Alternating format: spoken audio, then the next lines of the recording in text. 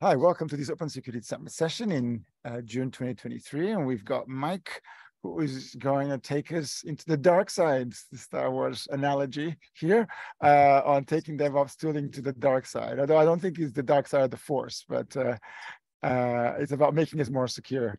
Oh, over to you, Mike. Cool. Well, thanks everybody for having me today. Um, as you said, I'm going to talk today about uh, taking your DevOps tools to the dark side um, gotta gotta throw in a classic Star Wars reference whenever I can. So, uh, but today's more specifically, I'm going to be talking about um, how to leverage zero trust networking uh, with your DevOps tools, uh, specifically uh, OpenZiti um, as the as the tool that we're, interacting with. Let me my slides advance here. All right. Um, so just a little bit of background on who I am. I've done a mix of software development, yep. um, DevOps, and uh, site reliability for about the last 14 years or so. Um, started in software development and infrastructure monitoring. Uh, if any of you guys are familiar with a tool called Nagios, um, I actually started there um, doing um, support and development, um, automation, things like that. Uh, then from there, I moved on to um, some more software development and CI/CD. Uh, I was on a DevOps team of two members where we supported CI/CD for 100 developers. Uh, as you might guess, we were not bored. It kept kept things interesting and moving quickly. Um, and then uh, from there, I moved on to to actually build a site reliability department um, and a, and a NOC department from the ground up uh, at a um, at about a billion dollar company, um, and able to stand that up. And then uh, currently at, at my current place, NetFoundry, um, I lead our DevOps team. We call it our RAV team for reliability, automation, and visibility. Um, and that's everything from supporting our public API platform and its reliability, um, CI/CD, all your kind of standard DevOps stuff. Uh, I also do quite a bit with um, analytics, real-time data, data warehousing. Uh, somehow, uh, somehow got roped into business analytics as well. Um, I'm a total data geek. Um, so any anytime I have opportunity to work with uh, real-time data and analytics, I'll, I'll, jump on that as well. Um, classic startup culture. So um, I uh, still wear many, many hats. I've been, been at my current company about six years and, and definitely still really enjoy it. So, um, so I mentioned uh, the concept of zero trust networking, and I wanted to kind of level set on uh, when, when I use that phrase, what, what I'm talking about, uh, because it's it's a term that's been marketed pretty heavily, and I think it's been polluted pretty heavily. Um, and so wanted to kind of um, just paint a picture of it um, so that we kind of, at least for the rest of the presentation, we kind of, uh, we're all on the same page with it. So um, a lot of our traditional network security is based around kind of this this model on the left where it is a perimeter based defense it's it's kind of like you are um, your, your, your important information, your important systems, they are um, uh, safely encapsulated inside of your castle walls, which is your firewalls or your security group rules or your, your network ACLs and so forth. And um, you put your you put your security around the outside of the system, and as long as everything's safe inside your fortress, um, you're good. Your systems are safe. Your systems are secure. In a zero trust networking world, uh, we actually start with the assumption that the network itself is already compromised. So uh, it's the assumption that enemies are already inside of your walls, and um, we we really can't even trust anything inside of the perimeter uh, because we we would assume that something is already compromised. Um, it definitely changes the way you think about security and about um, locking down your systems and about what uh, what ports you would expose, uh, things like that, and um, just gives you a different different uh, mindset in terms of how you approach security. Um, the reason that uh, reason I bring this topic up too is that um, I have a lot of conversations with people using traditional networking methods for securing systems. It's it's um, IPs and ports in terms of managing access control to things. And um, what I what I would propose to as we continue to move more and more towards clouds, more and more towards ephemeral systems, um, you know, Kubernetes clusters, service discovery, things like that. Systems are ephemeral; they're coming and going more and more people are remote. Uh, at this point, you know, I, have been I've been fully remote for six years. Um, during COVID, so many more people went remote and needed secure access to systems, but they're working from pretty much any location, and you could never guarantee where they're going to be at. Um, the, this idea of using IPs and ports to to um, securely manage your systems and manage access successfully um, in my opinion, this is no longer keeping up with the way with where the industry is going and the way people are actually doing their work. Um, and the kind of this Mike, Mike, just just maybe a, a quick comment that yeah the other thing that is also critical is the fact that it means that, for example, on instance response and in monitoring, this mm-hmm. gums up the whole thing.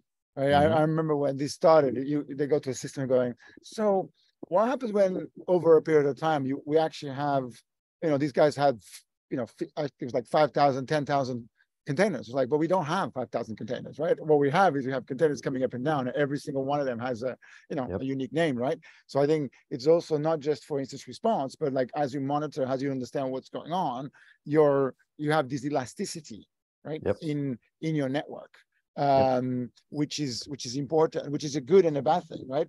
Because it scales a lot, but it means that a lot of, like I said, all methods of access control are just more practical. Yep. Yep.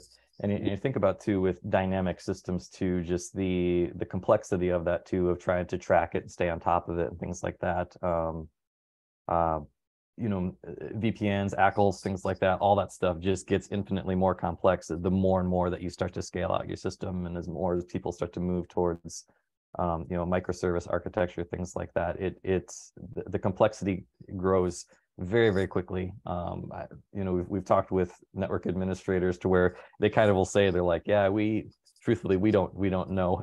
Because their, their rule sets have gotten so complex they're like we think we got it but tr- truthfully we don't we don't know. Um and that that becomes the scary part is when it the complexity increases so high that um they're uh, the, the network engineers themselves are not confident in in you know their how how hardened the systems are. Um I think another concept I've seen because I, I work in um, in AWS AWS space quite a bit.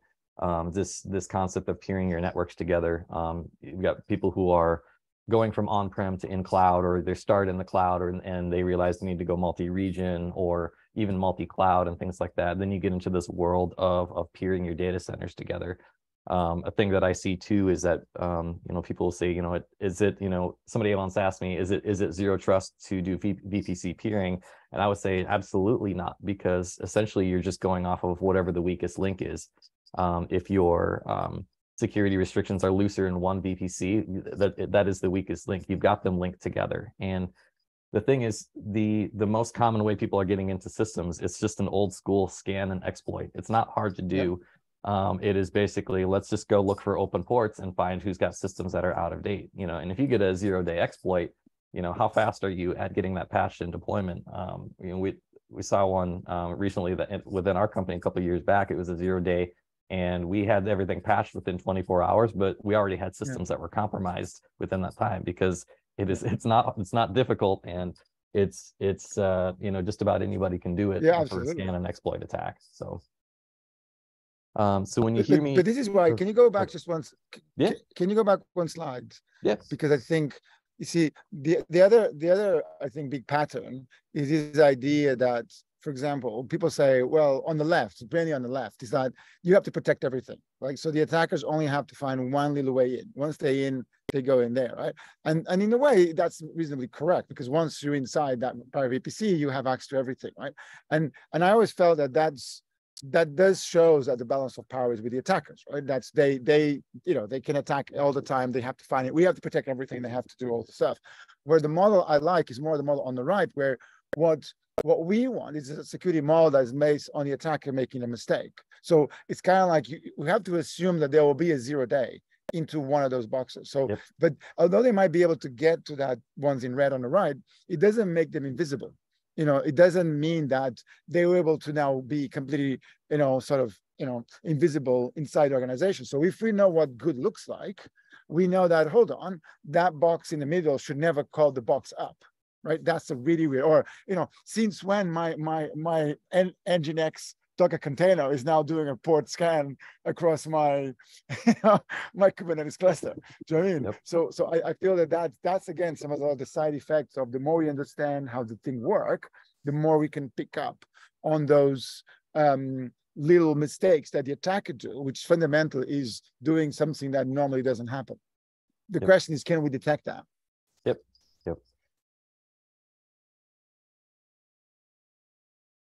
Right. And and you know, in terms of in terms of the inevitable change that's coming, a, a piece that um, I want to kind of start to imprint in people's minds too is just if you have an open port, start to think of that from a security standpoint. Is if you have an open port period, that is bad on some level. um, it just it, it is an entry point and and so when when you're going to hear me use the phrase make it dark um, the idea is going to be all right let's get those ports closed and i'm going to show you how to create connect connectivity without doing any open ports before this uh, presentation is over all right so yeah so this concept of make it dark first and foremost stop leaving ports open to the entire internet wherever you're doing that, if it is all possible, shut them down, close them down. But also stop leaving your ports open to your entire data center, your entire VPC, your entire subnet. Um, again, these are gaping security holes that uh, are, are letting attackers in very, very easily. Again, with a simple scan and exploit attack, that's all they need. Um, stop with the peering if you if you don't have to, if you don't need to, and I'll show you a way that you don't need to. Um, basically, again, it's the weakest link model. Uh, if you leave the weakest link vulnerable, you've left everything vulnerable. And so when you hear me say making it dark, um, this is a security model that where you don't have to have any ingress at all. Um, you can have a firewall rules that is simply deny all or a security group that is deny all inbound. Um, and so, so this is similar to sort of a Kubernetes deployment model, correct? It, Where in, you in create the services be, yeah. as a pattern, right? As a pattern. Yeah, there there are um, there are Kubernetes um, toolings that are gonna that are allow you to do some of this where you can create connectivity policy. Um, the the challenge with those is that they are within a within a, a Kubernetes cluster. Um, when you start getting to where you have multiple clusters or you have resources outside of that, it gets it gets more difficult. Um, and um, with uh, we'll kind of go through with OpenZiti. We'll be showing you a way that is it's it's somewhat agnostic to uh, what tool you're using. So if you're in AWS Fargate, or if you're in Kubernetes, or if you have a mix, or if you're a mix of Kubernetes and private data center, you can create connectivity in this way, um, and you're con controlling all your access through policies. Um, a, a, key concept in terms of uh, with OpenZiti, it's it's getting away from um, IPs and ports as your way to create connectivity and it's breaking everything down to where you either have services or identities. And it might be, um, I might need to access uh, my data warehouse, um, and that is a service. It, you know, it is something that it does have a um, an address at the end of the day, um, but ultimately that's a, a service, and we just create an abstract and say, okay, the data warehouse is a service, and Mike Guthrie is an identity. But even more than that, Mike Guthrie's laptop is an identity, and Mike Guthrie's cell phone is an identity. My laptop yeah. might need to access it, but my cell phone really doesn't. And so I can actually get that granular and specific with the access and say what specifically mm. truly needs to access this.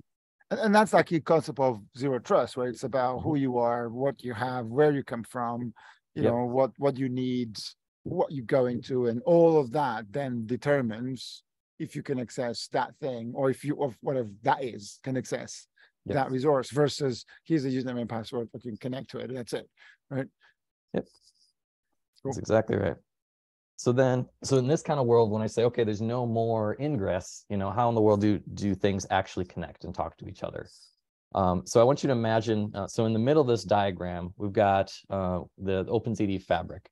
Um, and these these do have public listeners into it. And the way that it, this connectivity works is that everything dials outbound and it'll dial into and establish a persistent connection with this fabric by default, things are just connected, but nothing has access to each other. They're just they're just simply dialed in, and they're they're awaiting access grants via policy. And so, if you've got a trusted entity in data center A, um, you can create a policy that says, okay, you know, this trusted entity over in data center A, you can talk to the private resource in data center B.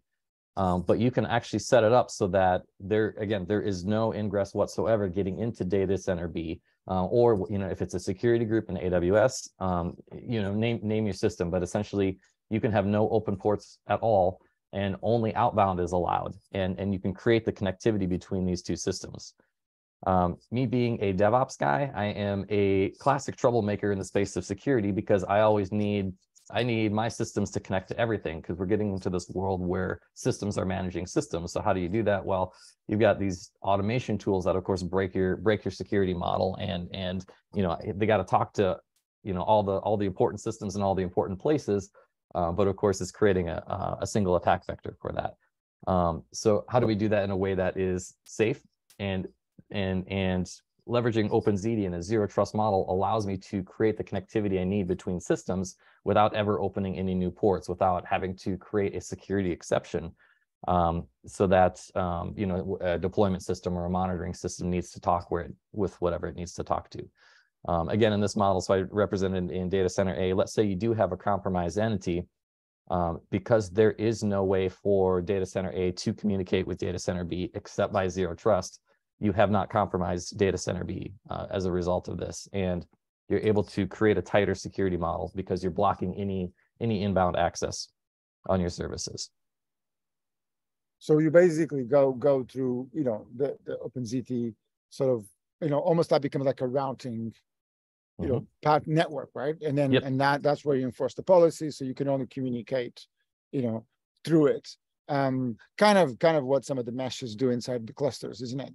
Um, yep. uh, but but you do that across data centers, across application, across networks, isn't it?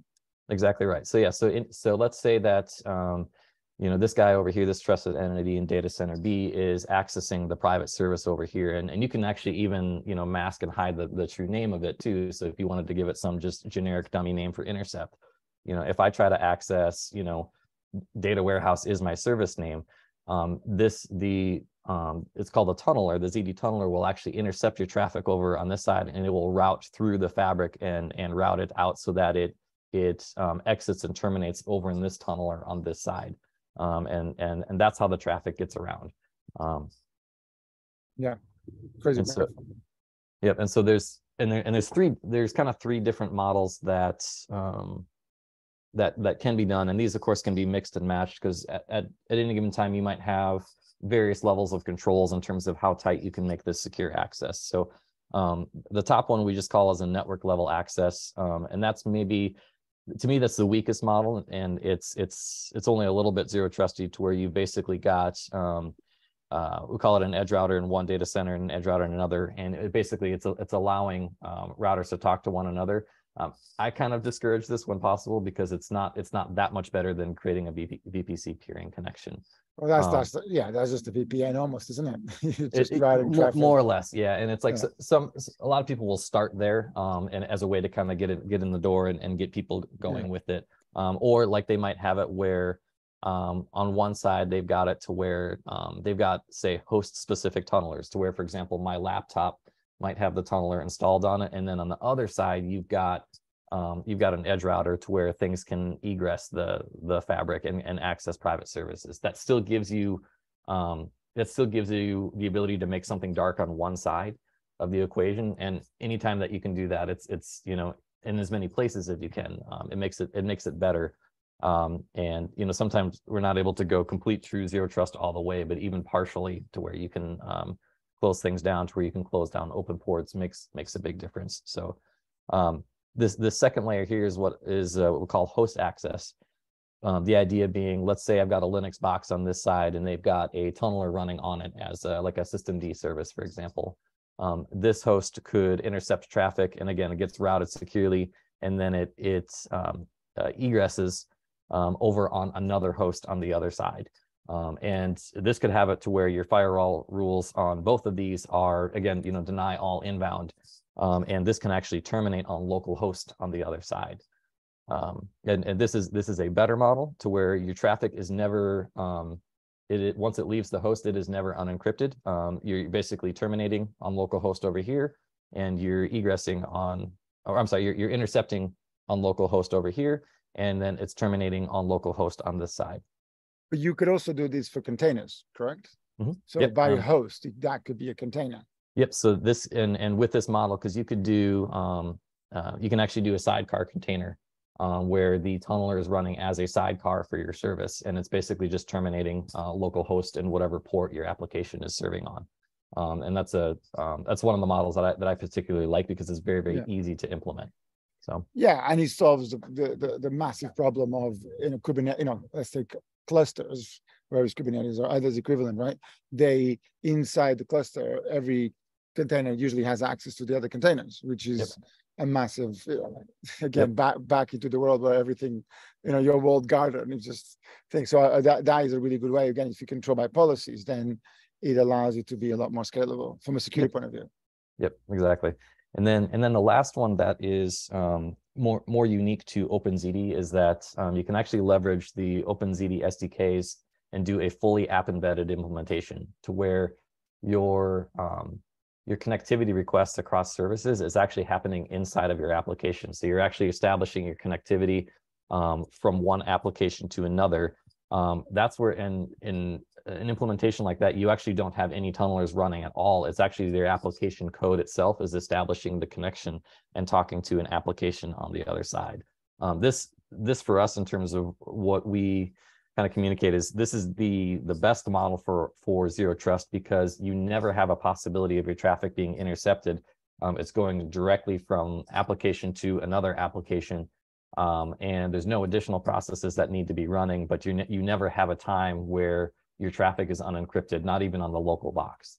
Um, and so you remove all possibility of intercept because your traffic is encrypted 100% of the way from application to application. And so, and, and, and like I said, you can, you can mix and match these. So you could have it where um, you're, you know, embedding it on, you know, say a, a, Python script on one side and you're doing a, a uh, um, sidecar container on the other side. Um, but the, the idea is to try and create that layer, create that, um, you know, kind of zero trust box of encryption, have it go as far as it can go to the ultimate destination. The, the, the farther you can reach it in towards that application, the less opportunity you have for traffic being intercepted. Uh, again, the more secure your model is going to be as you as you're creating connectivity across your systems. Yep, absolutely. Cool. So the, the reason I care about this, and I'll, you know, full disclaimer, I'm not a network engineer, um, and uh, I'm certainly not a sales guy either. I am a get it done DevOps guy, and um, you know, for for me, at the end of the day, I need to get my job done, and usually at any given time, there's two or three people waiting on me to get something done. So I need to be able to move quickly um, without creating significant compromises in our security model. Um, and the the challenge in the DevOps space is that almost every DevOps tool that is used is somehow um, it is somehow a high value target for uh, for an attacker. Um, and I'll kind of go through a list because these are all tools that I commonly use, but basically they are, if, if, if, if this is a system that can be compromised, it's just an absolute jackpot for an attacker.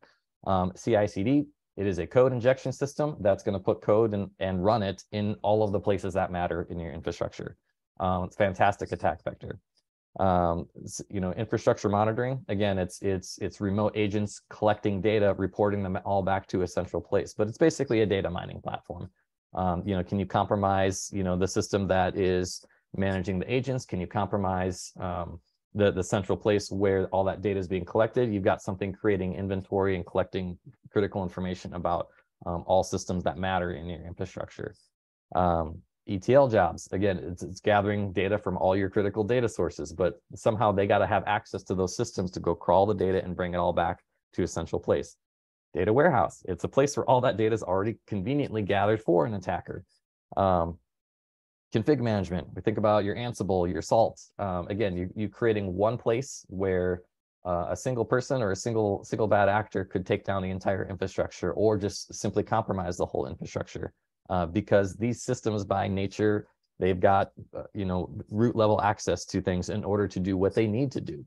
Um, all these automation tools, they're fantastic. They're amazing. They allow systems to administrate systems, but they create an incredible attack vector that um, that attackers know they need that they know they need to compromise. And I think that we've seen this in the industry where a lot of the really really big hacks that have happened in, la- in the last few years they're going after these devops tools because they're just a fantastic way into the entire infrastructure or many people's infrastructure uh, because of just the nature by the way man you should add to these the security tools yeah you should yeah. add to here the security tools which can be as bad as yeah. everything you got in here right well, massive and, crown jewels and and the thing that I've come across and observed too is like um, you know I've, I've been in places where you have to you have a security audit um, and me being a DevOps person, typically it's your production application that is subject to that security audit. And what I ask people, especially in the DevOps space, is, you know, would you would you feel comfortable turning that auditor loose or turning that pen tester loose on your Jenkins machine or on your monitoring, you know, on your monitoring infrastructure in the same way that you would your production application? You know, we at at any given point, you know, people will they'll kind of they have to draw a line of scope around those audits and say okay this is this is what our the scope of this audit will entail they typically are not putting their devops stuff inside of that scope um, unless they have very very tight security restrictions. And what what i would encourage people to start thinking of is is it's like i mean yeah you, you've done all your hardening on your production application but have you done the same amount of rigor around your devops tools?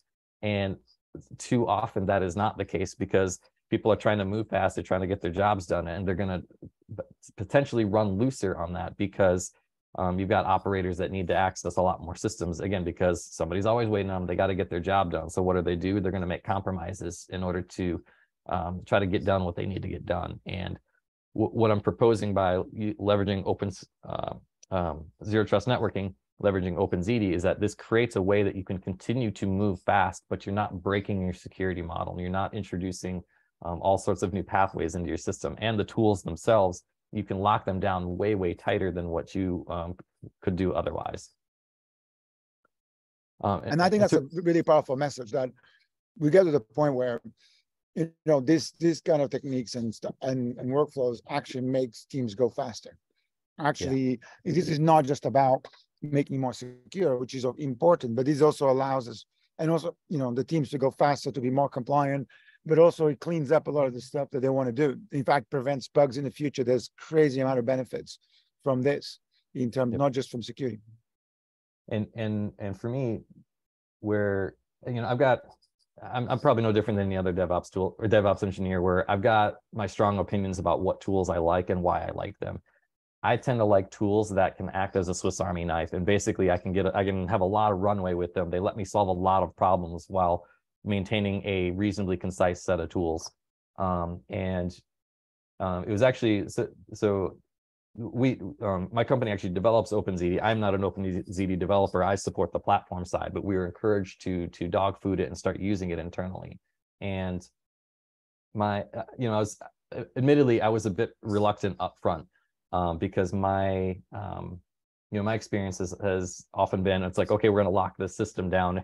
Inevitably that means all right we're going to break a ton of stuff and we're going to create a lot of friction while we while we start to secure the system and tighten things down. And uh, what i actually found was that um, not only was it fairly fairly trivial to begin to secure systems but it it um, it did actually enable me to move more quickly because because i didn't have to um, I didn't have to, you know, uh, create any new security exceptions. I didn't have to open any new uh, firewall ports or anything like that to create connectivity because that that's a key piece of what we do in DevOps is we create connectivity between systems. We wire things together, and being able to do that without breaking the security model um, was was a huge deal. And so, um, I'm probably jumping ahead a little bit on on my slides, but um, the very first thing that we did internally was our data warehouse. Um, we had um, our, our data warehouse was it was it had an open port to the internet and it was just a simple set of credentials that somebody could more or less brute force to get in and that was keeping me up at night and there were reasons that it we we had it that way um, at least early on and uh, that was the one thing i'm like okay we're going to lock something down. I need to get that thing locked down. So we started there um, and it started with you know just end user access to data warehouse um, and um, and then from there, we went to the ETL runners because they needed to reach out to various databases to go um, to go gather data and pull it into the data warehouse. And um, again, was expecting a lot of friction and a lot of breakage.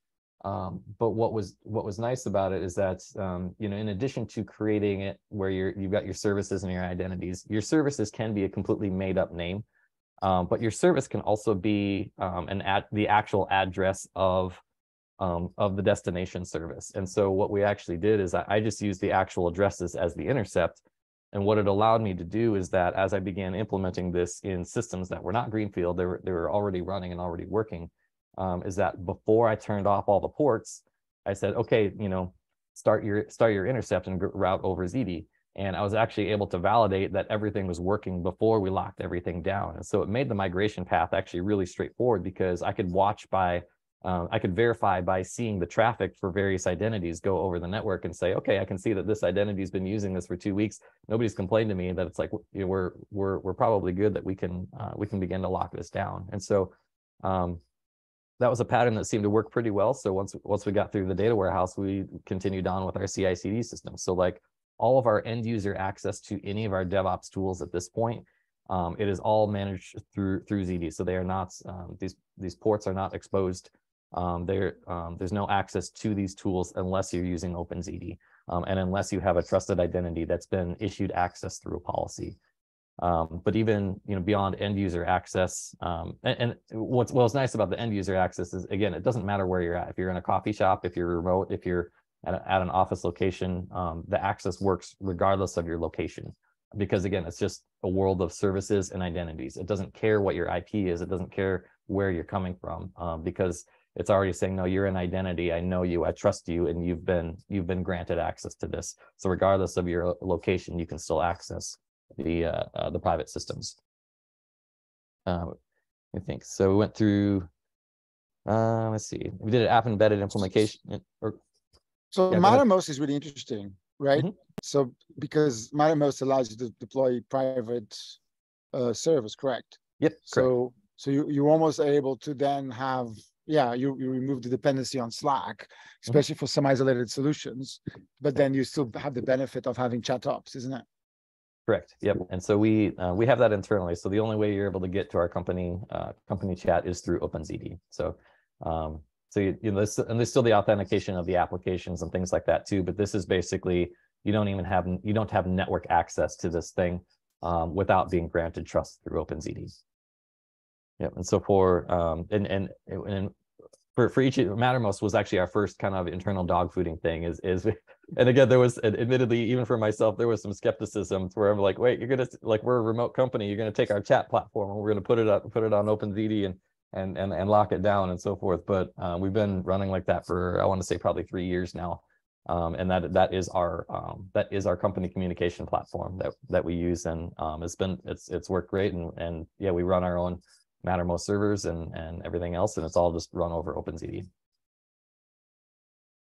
Um, I think the uh, yeah I won't I won't read off the slides, but the uh, the last one too that has kind of become my um, my new favorite uh, is the developer access and support access model. Um, I think if you've ever been in the situation where you have to manage developer or support team member access, there's always a certain degree of discomfort because you're never able to get it quite as granular as you would like.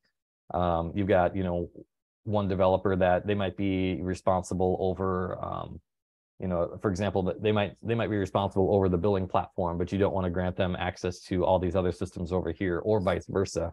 You don't want to um, grant these access develop you know you don't want to gr grant these developers access to where they would have have access to a billing database for example um, the the thing that's nice is that you can start to take um, things like developer access and support access and make them really really granular so that um, an individual person they just have an attribute that gives them access to the very very specific things. Um, you can i mean you can get not just down to the to the node but down to the port level and say you have access to this port but not to this port uh, within a within a system. Uh, in, term, in terms of how that access is managed um, I like to, I, I came from a place where we used to do active directory management. Uh, we used, you know, group associations to determine access. Um, it's the same kind of concept, except for um, at a network layer um, where you're assigning network access based on kind of attributes that that identity will have or not have. And so, for example, uh, on the left here, this is a, this is a policy that I've got. Um, in NetFoundry, refer to them as app wins, but in OpenZiti, it's a service policy. Um, and it's as simple as saying, okay, services that are tagged with the attribute data warehouse, um, they uh, can talk to endpoints that are tagged with data warehouse. So how does somebody have access to those services? um, and, and endpoint is on the right. I just have a, a, demo endpoint that I created for myself. And, and you can see that it's like, okay, one of the attributes that my test endpoint has is data warehouse. Um, and basically, uh, when I come online, I just will magically inherit access to those services. Um, and I can access what I need to. And you can get really specific and granular in terms of how you break these things into, into policies and groups. Um, and it depends. And, and, and you can do things like in terms of the terminating um, things, you can do port ranges and things like that too. But um, it's as it's as um, it's as broad or as granular as you want it to be or as you need it to be.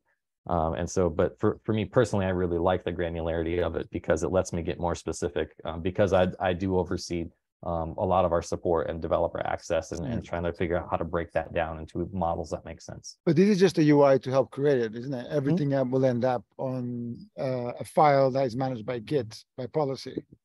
It's it's um, yeah. So OpenZiti has a uh, called a Ziti controller, uh, where it basically maintains a an internal database, and all these can be these can all be done programmatically through um, through API as well.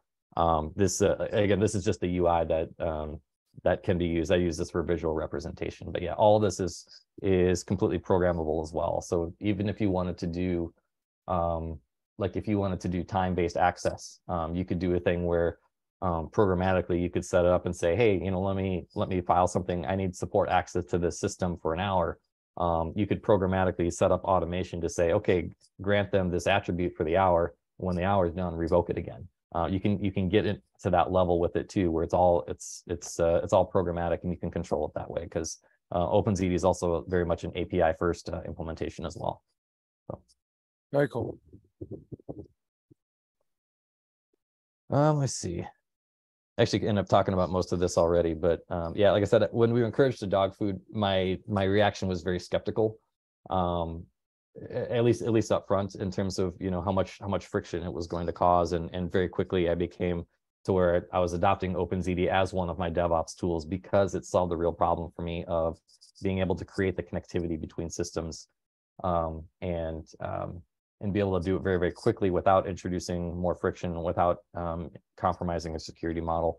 Um, the other thing that's um, that I liked in particular, because I'm also total data geek as well, was uh, um, you know at a previous place, I had a scenario where uh, we had to we had to let an employee go, and they and and they asked you know hey can you can you see what they've been accessing? And of course we didn't have any good solution, so you spend like three days sifting through logs, and ultimately you're like I don't think so, but you really have no idea um, what's nice in in the zero trust model too is because we um, at least with um, with CloudZiti, we, we track we track all the traffic as well and we preserve that too so we could actually see it's like okay if i'm curious hey is anybody even using this service i can actually see down to the identity which you know which identities are accessing the service how much traffic are they passing when are they accessing it things like that and because um, everything is funneled through OpenZiti and, and especially for all the end user access we know oh yeah, this person was was on the production database yesterday. What were they doing and things like that. We can see those things. Um, Have you very, done very easily now? Do you know a use case of feeding that data to a SIEM, for example, and starting to have and also giving the incident response team the ability to monitor that and to start to detect those access that shouldn't have access. Yeah. I mean, it's, it's, a bit like sometimes it's hard to lock certain things down, but if we can at least monitor using like this, then we can say, look, we might not be able to lock it all down, but at least we'll be able to figure out very quickly if somebody or something is already accessing stuff that it should not be able to access. Yeah. So uh, have you seen examples where it gets fed to some some of the SIEM providers out there? It it uh well yeah because we do internally because i uh, i work on supporting the uh um the the hosted the hosted OpenZiti basically which is uh CloudZiti and what we do we actually feed it to elasticsearch uh, for that purpose and that's that's what powers the graphs in our in our console and so forth. But somebody else could do something very very similar where they they send it to a SIEM or they could send it to um you know their own elastic elasticsearch or equivalent because what um and and this is actually one of the things that I got to be a part of um, being at NetFoundry, which was exciting to me being a data geek, was that for, for every byte that gets passed over OpenZiti, it gets attributed back to a specific network session, um, which ultimately it, it attributes to um, a, an initiating identity, um, a hosting identity, um, and the service that was accessed. And so for with those three dimensions, the, the the power of what you're able to um, actually track with that is really incredible. So you you always know you know who's who's accessing what services, how often, and, and you can look at it from any of those directions. And so uh, the the data that you get from OpenZiti is actually really really powerful from a, a trackability standpoint as well. Yep, very cool. But yeah, so um, that, that's what I had at least for the presentation. But if uh, if you're curious about OpenZiti, want to see more about it, um, it's it's it's open source. It's on GitHub, um, and uh, there's additional documentation there. And then, uh, as I mentioned, I, so I I work for for NetFoundry, and we we provide a cloud hosted OpenZiti uh, platform. Um, and there is a Teams plan if people want to just try it out and, and tinker with it for free. That's free up to um, that's free up to 10, uh, 10 identities um, that you can test it out and just kick the tires on it. It gives you a little more like user friendly way if you want to approach it from more uh, like console first type of uh, perspective. But um, Yeah, let's leave it open for yeah. questions, comments, anything like that. No, no, very cool. And look, I, I, these days I, am a big fan of these open source projects where you have a fundamental open source space, which allows you to scale, allows to have the openness, allows to have the, you know, almost like a much more transparent way of, of governance, but then have a corporate organization that actually supports that. Uh, because especially from a, a, corporate point of view, like some of these, you need somebody who's going to maintain the SLAs, who's going to maintain the service. You know, getting this to work, you know, this becomes a, a key dependency. But uh, you know, it's a really powerful model. And yep. um, no, no, it's really cool. No, I don't think there's any. I, I've been asking all my questions during during the session. No, uh, it, it's great. I love it. It's fun.